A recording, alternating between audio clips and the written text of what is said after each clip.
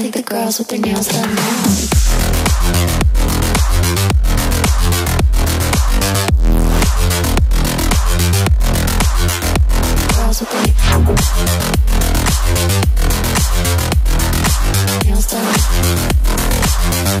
Girls with their nails done.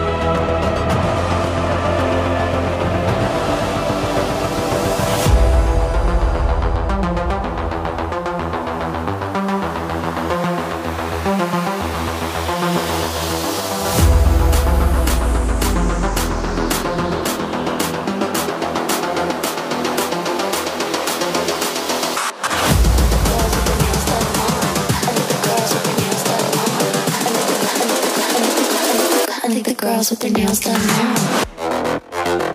Girls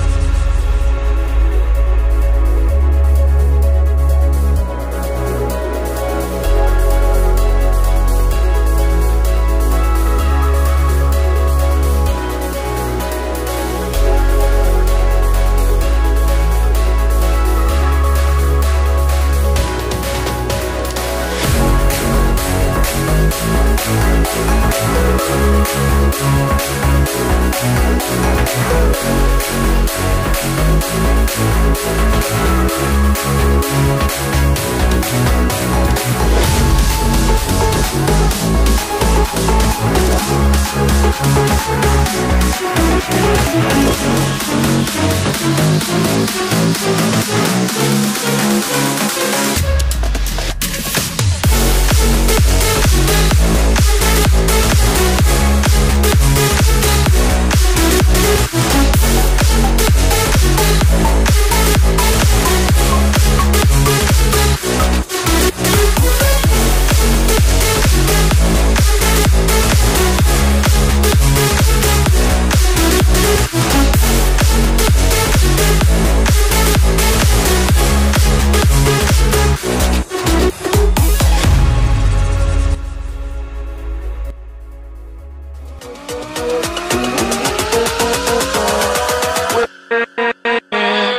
with